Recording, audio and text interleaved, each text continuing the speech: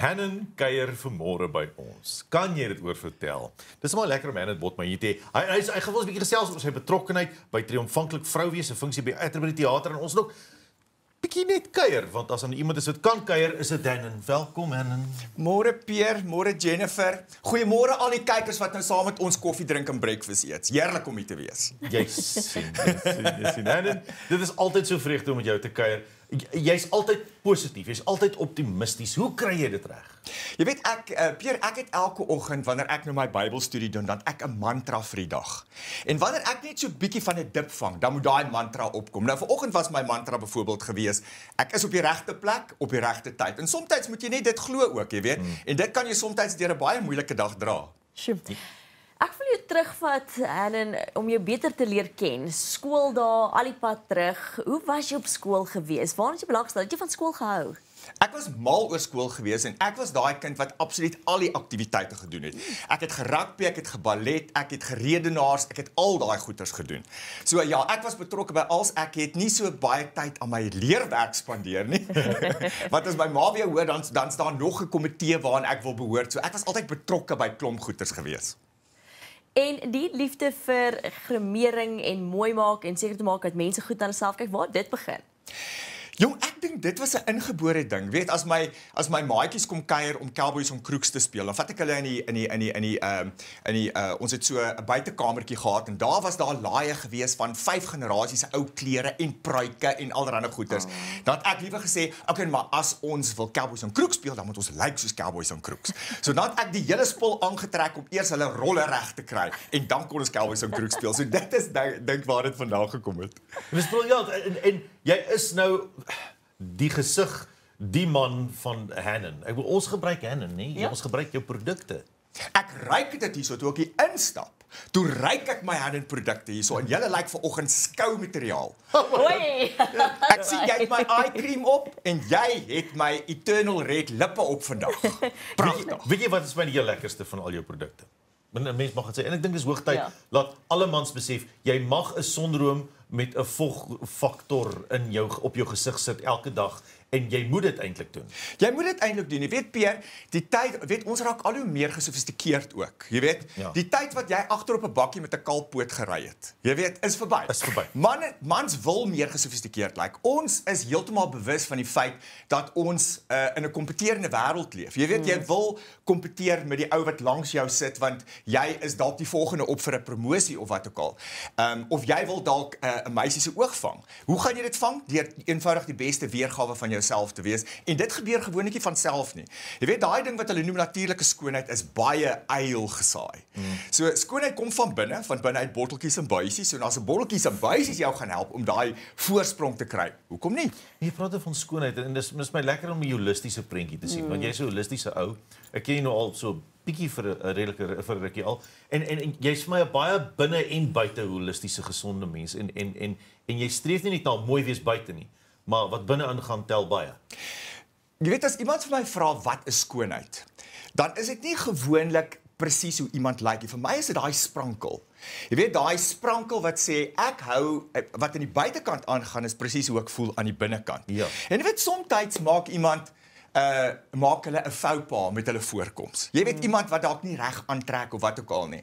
En dan in die verlede was dit miskien baie uh beoordeelend teenoor persent. Gesê kan sy nie kyk hoe sy gelyk het toe sy die laaste keer by die huis uitgestap het nie. Maar weet jy wat ek raak sien eintlik is daai sprankel. Daai sprankel wat sê ek voel mooi. Ek gee nie om wat die mense sê nie.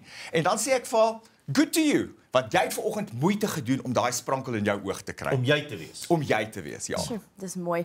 Ek dink dit laat my dink ook as mens kyk nou na glam guru byvoorbeeld. Dis nie net, jy weet iemand daag op en jy maak die persoon mooi van buite af nie. Vertel ons 'n bietjie van daai reis wat jy stap saam met iemand. Ek dink dit is baie belangrik dat kyk glam guru is altyd daar om vir mense hoop te gee. Ja. Want as jy 'n splinte nuwe mens in die spieël sien, dan is ewe skielik asof die verlede met die redes hoekom jy daar uitgekom het wegval en jy sien ewe skielik die potensiaal van 'n nuwe voorkoms.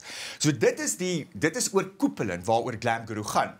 Ehm um, maar wanneer ek byvoorbeeld vir mense ehm, 'n um, styl beplan, is dit nie net om vir hulle voorkoms te bepaal of saam te stel wat hulle op hulle heel beste gaan laat lyk nie, maar ook wat baie belangrik is is dat die voorkoms wat ek vir hulle gee, moet pas in hulle nuwe milieu.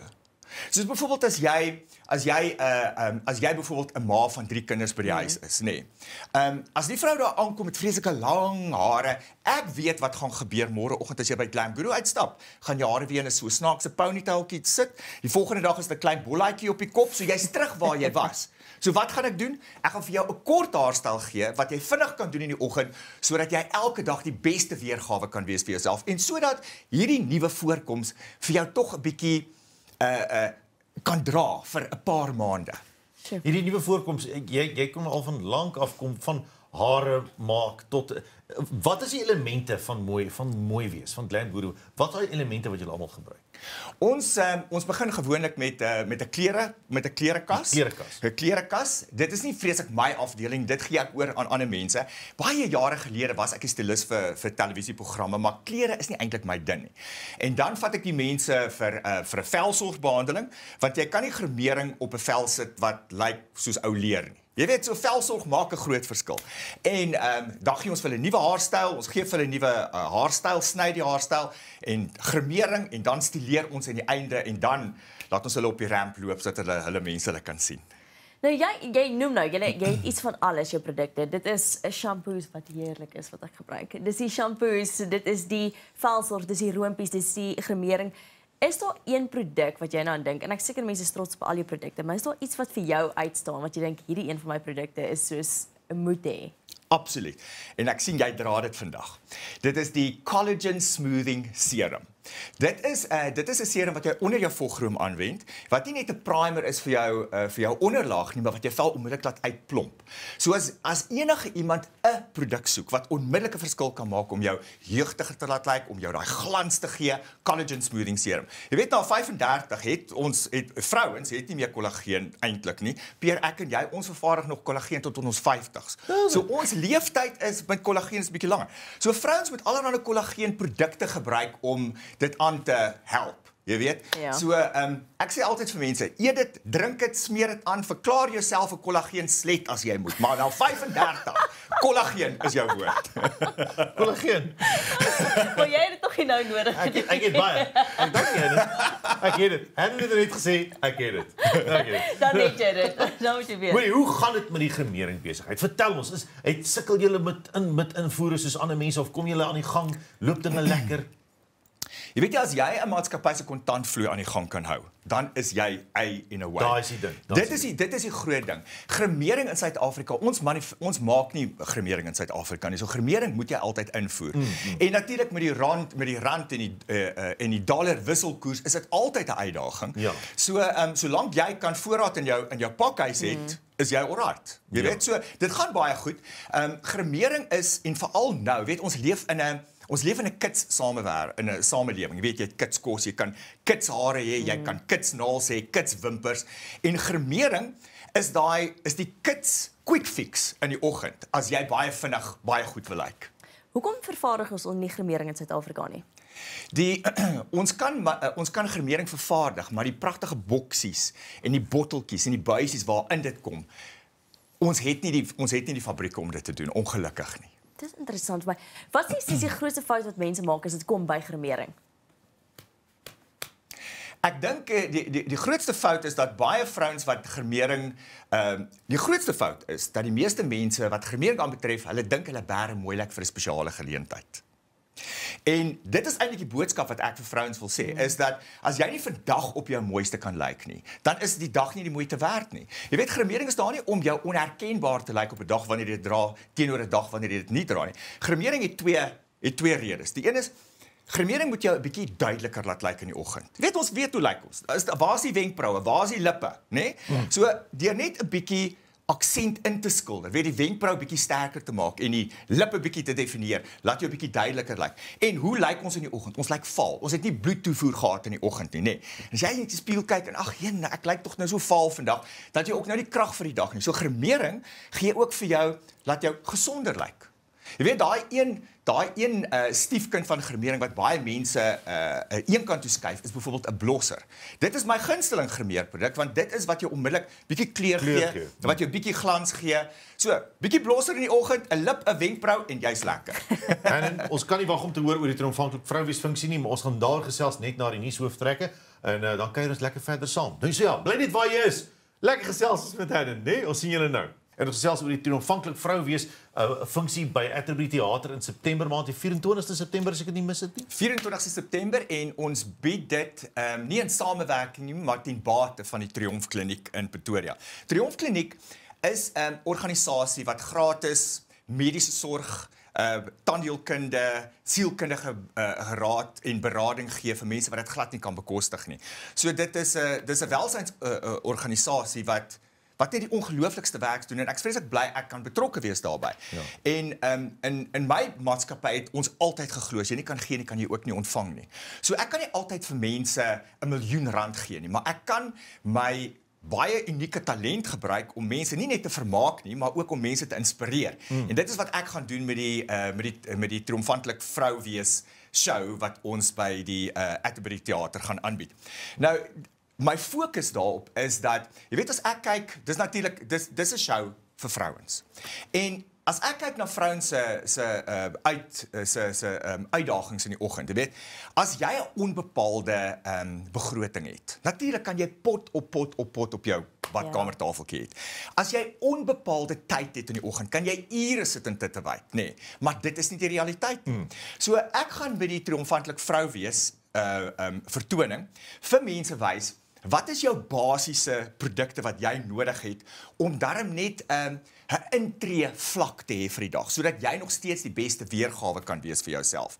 En wat is die kort paaie wat jy kan loop as jy baie haastig is in die oggend ten opsigte van jou vel, jou gremering en jou hare en uh, ek neem mense uit die gehoor uit en ons haal hulle make-up af, ons maak hulle hare nat en ek wys vir die mense, okay, as jy nou hierdie kophare gekry het om mee te leef in jou lewe. Dit is wat jy moet doen om so te lyk dat jy die kinders bang maak ek hou daarvan ek sal wel hoor. En wie soek nie 'n kort pad nie. Ek wil 'n kort paai in die oggende vir gremering en Dis hare. die, ons kan doen met kort paaie, ons het nie baie tyd in die oggend nie. Nee, presies. Nou daai fantastiese geleentheid is soos jy gesê het by die Atterbury Theater en kaartjies is beskikbaar by seatme.co.za of jy kan natuurlik op Atterbury Theater se webtuiste gaan loer. Maar Helen, ek en Pierre het nou goed gedink om vir jou 'n paar vrae te vra. 20 questions om jou beter te leer ken. So jy kan hier so vinnig as moontlik eers ding wat opkom vir ons antwoord. Is jy gereed? Yes. Okay. Verkies jy die see of die bos? Definitief die see. Gunsteling plek waarheen jy al gereis het. Ehm um, ek hou van baie Europese stede. Ek hou baie van Parys, ek hou van Bologna in Italië. Maar weet jy, ek is ek is eintlik gelukkig op enige plek. As daar 'n bietjie son is, is ek op my heel gelukkigste. En dit kan wees suidkus van Natal of dit kan in Mauritius wees. Jy Ja. sien dan. Volgende plek wat jy wil besoek. Baie graag Indië. Ja, Ah. dit is ja, ek- dit was nog nooit op my dit was nog nooit op my horison gewees nie, maar ek het um, ek het 'n geïnteresseerd deesdae om om 'n a- om iets heeltemal anders te ervaar wat ek nog nooit gedoen het nie. En ek ken Europa en ek ken Afrika, Ja. maar ek dink Indië is baie uniek. Wat is jou gunsteling gereg? My gun brood en kaas. Wow. Sal Ja. nie sê die stysel en kyk hoe goed lyk jy. Brood en kaas. Dit gaan my laaste maaltyd op hierdie aarde wees. Wat laat jy lag? Ehm as as iemand val. Dit is nogal so nee. Ja. Dis is evolusie in reverse. Jy sien hulle regop staan, dan gaan gaan gaan. Jy, jy weet daai jy weet daai video's wat mense op uh, wat wat jy kry op die internet waar die modelle loop en hulle hulle het hierdie vreeslike walk skoene maar hulle kan nie loop nie. En hulle Ja. probeer hulle waardigheid behou, maar hulle val die hele tyd. Dit is vir my die snaakste ding wat ek nog in my lewe gesien het. Ek kan dit oor en oor en oor kyk. Goed, dis aan die een kant van die spektrum wat jy laat lag. Nou kom ons kyk na die ander kant. Wat maak jou kwaad? Boelie gedrag ah. maak my verskriklik kwaad. Onregverdigheid. Boelie gedrag het baie verskillende fasette. Dit kan wees van iemand wat skree op jou of dit kan wees van iemand wat voor jou spog. Want in my dit is ook boelie gedrag. Mm. Veral as mense weet wat jou weerloosheid is, Kyk nê? hoe goed is ek. Ja. Beter is jy. Daai. Ja. Ja. Boelie gedrag is my nommer 1 ding wat ek niks van hou nie. Sjoe. Sal jy eerder 'n boek lees of 'n fliek kyk? O, oh, fliek kyk. Ek 'n boek, ek as ek 'n boek lees, ek hou baie van lees, maar dit vat my maande om deur 'n boek te kom wat 3 bladsye dan val val ek aan die slaap. So ten minste kan ek darm 'n storie klaar kyk in 'n uur of twee. Nou uh, jy jy analiseer mense binne en buite, so nou sal ek hierdie vraag sal jy jy, jy kan uh, goed antwoord. Wat is vir jou die mooiste kwaliteit in mense? Ek hou van 'n kinderlikheid, 'n childlikeness. Iemand wat wat nie hulle onskuld verloor het nie. Wat miskien ook net wat ook net hulle self kan wees sonder om 'n ding te veel te oordink. Mm. Ek hou ook nie van mense wat 'n agenda het nie. Mm. Jy weet. Ja. Ehm um, wat moet 'n man of 'n vrou nooit dra nie? Dis 'n moeilike vraag. Dis 'n moeilike een. Want elkeen is uniek. Ja, maar daar moet iets wees wat lelik is. Behalwe iets- Ja, presies. 'n Mallet haarstyl.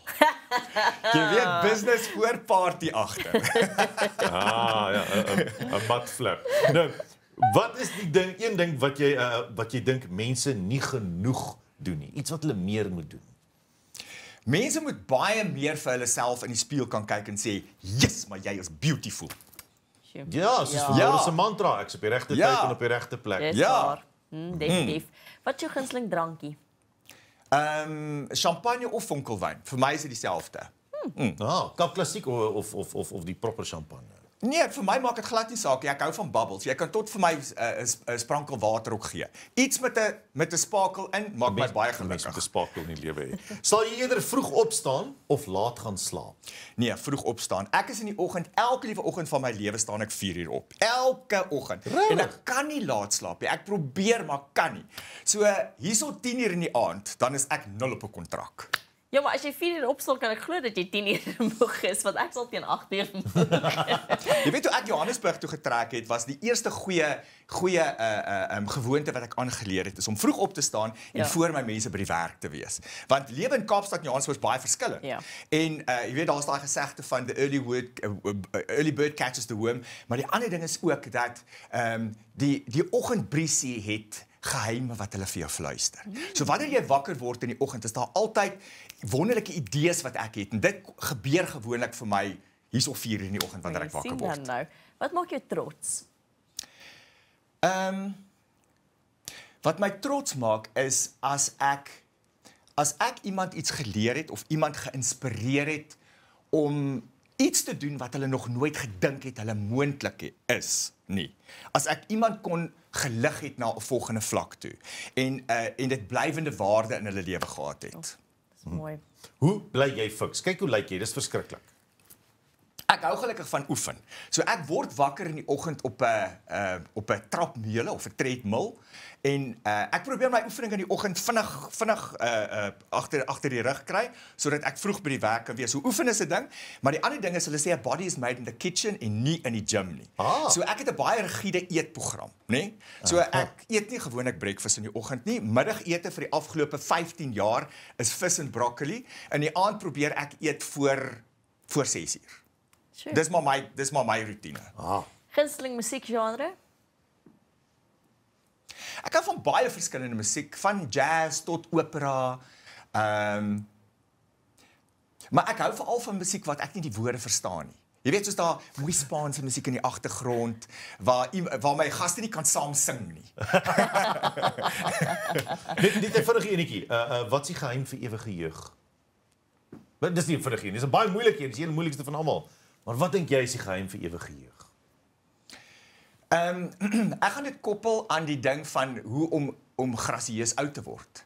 Ja. En dit is dat 'n mens in die uiterlike moet lyk like hoe jy aan die aan die binnekant voel. So as dit beteken dat jy dat jy mal is oor jou grys hare, dan is ek vreeslik bly vir jou.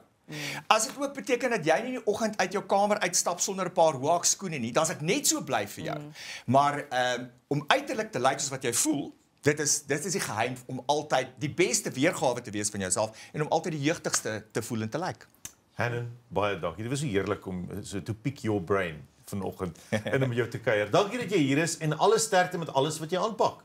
Baie dankie en dit is vir my 'n verskriklike groot voorreg om by julle te wees hier vandag. Julle lyk pragtig.